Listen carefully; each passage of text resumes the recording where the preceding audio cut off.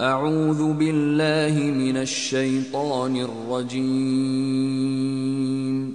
Bismillahirrahmanirrahim. Hamim. Kitabın indirilmesi o üstün kudret, tam hüküm ve hikmet sahibi aziz ve hakim Allah tarafındandır. Biz gökleri, yeri ve bunların arasındaki varlıkları ancak gerçek bir maksatla, adalet ve hikmetle bir de belli bir süre için yarattık. Ama kâfirler uyarıldıkları kıyamet gününden yüz çevirirler. Müşriklere de ki, şimdi baksanıza şu sizin Allah'tan başka ilahlaştırıp yalvardığınız putlarınıza. Söyler misiniz, onlar yerde hangi şeyi yaratmışlar? Yoksa göklerde mi bir ortakları var? Eğer bu iddianızda tutarlıysanız, daha önce gelmiş bir kitap yahut hiç değilse bir bilgi kalıntısı varsa getirin görelim. Kendisinin duasına ta kıyamete kadar cevap veremeyecek olan ve esasen kendilerine yapılan duadan habersiz o Allah'tan başka uydurulan nesnelere yalvaran kimseden daha şaşkın biri hiç olabilir mi?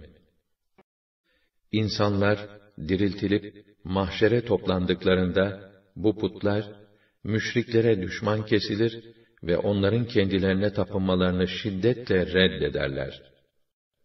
Ayetlerimiz açık açık okunup beyan edildiğinde o kâfirler önlerine gelen gerçek hakkında bu besbelli bir sihirdir derler.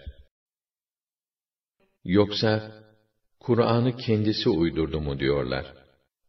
De ki, eğer ben uydurduysam, zaten Allah çok geçmeden cezamı verir. Siz bana yardım etmek isteseniz bile, Allah'ın azabından beni kurtaramazsınız. Demek ki sizin bu kabil laflarınız, boş sözlerden, içine daldığınız yaygaradan ibarettir. Allah da bunu pek iyi bilmektedir. Benimle sizin aranızda şahit olarak, o kâfidir. O gafurdur, rahimdir. Affı, merhamet ve ihsanı pek boldur. De ki, peygamber olarak gelen ilk insan ben değilim ki, dünya hayatında benim ve sizin başınıza neler geleceğini bilemem. Ben sadece bana ne vahyediliyorsa ona uyarım. Çünkü ben açıkça uyaran bir elçiden başka bir şey değilim.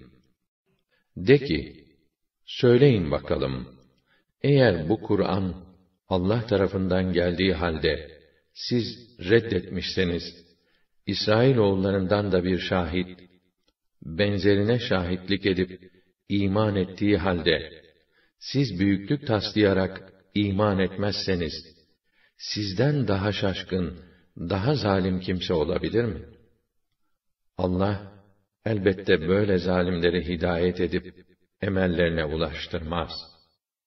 İnkar edenler, bir de, müminler hakkında şöyle derler. Bu İslam dini, eğer önemli ve değerli bir şey olsaydı, bu Müslümanlar akıllarını kullanıp, onu anlamakta bizi geçemezlerdi. Kendileri bunu başaramayınca, bu zaten eski, modası geçmiş bir yalan deyip, geçiştirmek isterler. Bundan önce bir rehber ve rahmet olarak, Musa'nın kitabı vardı. Bu ise, zalimleri uyarmak, iyi hareket eden müminleri müjdelemek üzere indirilmiş, onu doğrulayan Arapça bir kitaptır. Onlar ki, Rabbimiz Allah'tır deyip, sonra da dürüst hareket ederler. İşte onlara korku ve endişe yoktur. Onlar kendilerini üzecek hiçbir durumla da karşılaşmazlar. Onlar cennetlik olup, yaptıkları güzel işlere karşılık olarak, ebedi kalmak üzere o cennetlere girerler. Biz insana, anne ve babasına güzel muamele etmesini emrettik. Zira annesi onu nice zahmetlerle karnında taşımış ve nice güçlüklerle doğurmuştur. Çocuğun anne karnında taşınması ve sütten kesilmesi 30 ay sürer. Nihayet insan gücünü kuvvetini bulup daha sonra 40 yaşına girince Ya Rabbi der. Gerek bana gerek anneme babama lütfettiğin nimetlerine şükür yoluna beni sevk et. Senin razı olacağın makbul ve güzel iş yapmaya beni yönelt ve bana salih, dine bağlı, makbul nesil nasip eyle. Rabbim, senin kapına döndüm. Ben sana teslim olanlardanım. İşte biz, onların yaptıkları en güzel işlerini, taatlerini kabul edip, günahlarını affedeceğiz. Bunlar, cennetlikler arasındadırlar. Bu, onlara söz verilen gerçek bir vaattir. Fakat bir de öyleleri var ki, kendisini imana davet eden anne ve babasına, öf be, yetti artık, benden önce nice nesiller ölüp de geri dönmediği halde, siz beni mezarımdan dirilip çıkarılmakla mı korkutuyorsunuz? Derken, onlar, Allah'a sığınıp yalvararak oğullarına, yazık ediyorsun kendine derler. İmana gel, Allah'ın vaadi elbette gerçektir. O ise yine de, bu ahiret inancı, eskilerin masallarından başka bir şey değildir, diye diretir. İşte onlar, kendilerinden önce insanlardan ve cinlerden gelmiş geçmiş topluluklar içinde, haklarında azap hükmü kesinleşmiş olanlardır. Çünkü onlar, hüsrana uğramış kimselerdir. Herkesin, yaptığı işlere göre dereceleri vardır. Sonuçta Allah, onlara, işlerinin karşılığını tam tamına ödeyecek, onlar, asla haksızlığa maruz kalmayacaklardır. Gün gelir, kâfirler, cehennem ateşinin karşısına tutulurken, şöyle denilir. Bütün zevklerinizi dünya hayatınızda kullanıp tükettiniz. Onlarla safa sürdünüz. Artık bugün, dünyada haksız yere büyüklük taslamanız ve dinden çıkıp fasıklık etmeniz sebebiyle hor ve hakir eden bir azap ile cezalandırılacaksınız. Bir de Ad halkının kardeşleri Hud'u hatırla. O Ahkaf'ta kavmini uyarmıştı. Gerçekte ondan önce de sonra da birçok uyaran peygamberler gelip geçmişti. O yalnız Allah'a ibadet edin. Doğrusu ben sizin başınıza gelecek müthiş bir günün azabından endişe ediyorum demişti. Onlar sen bizi tanrılarımızdan vazgeçirmeye mi geldin? Haydi, iddianda tutarlıysan, geleceğini bildirerek bizi tehdit ettiğin azabı başımıza getir bakalım derler. O şöyle cevap verdi. Azabın vakti hakkında kesin bilgi, Rabbimin nezdindedir. Ben sadece, benimle gönderilen mesajı size duyuruyorum. Ne var ki, sizi cahilce davranan bir toplum buluyorum. Vakta ki, bildirilen azabı, vadilerine doğru enlemesine yayılarak ilerleyen bir bulut halinde görünce, bu dediler, bize yağmur getiren bir bulut. Hud, hayır dedi. Bu, sizin gelmesi için acele edip durduğunuz şeydir. Yani can yakıcı azap taşıyan bir rüzgardır. Rabbinin izniyle her şeyi devirip, yerle bir eden bir kasırgadır. Derken, hepsi helak olup sadece meskenleri kaldı. İşte biz suça gömülmüş güruhu böyle cezalandırırız. Vakta ki bildirilen azabı vadilerine doğru enlemesine yayılarak ilerleyen bir bulut halinde görünce bu dediler bize yağmur getiren bir bulut. Hud hayır dedi. Bu sizin gelmesi için acele edip durduğunuz şeydir. Yani can yakıcı azap taşıyan bir rüzgardır. Rabbinin izniyle her şeyi devirip, yerle bir eden bir kasırgadır. Derken, hepsi helak olup, sadece meskenleri kaldı. İşte biz, suça gömülmüş güruhu, böyle cezalandırırız.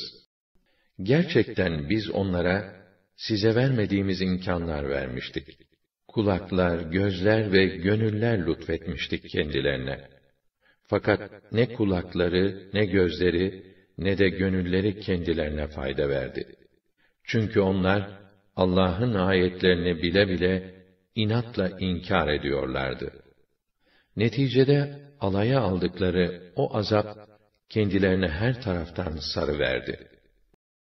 Mekkeliler, etrafınızda bulunan birçok şehirleri yerle bir ettik ve yanlış yoldan dönsünler diye ayetlerimizi farklı üsluplarla tekrar tekrar açıkladık. Kendilerine Allah'ın nezdinde yakınlık sağlasınlar diye Allah'tan başka edindikleri tanrılar o müşrikleri kurtarsalardı ya. Bilakis onlar ortalıktan kaybolup kendilerini terk ettiler.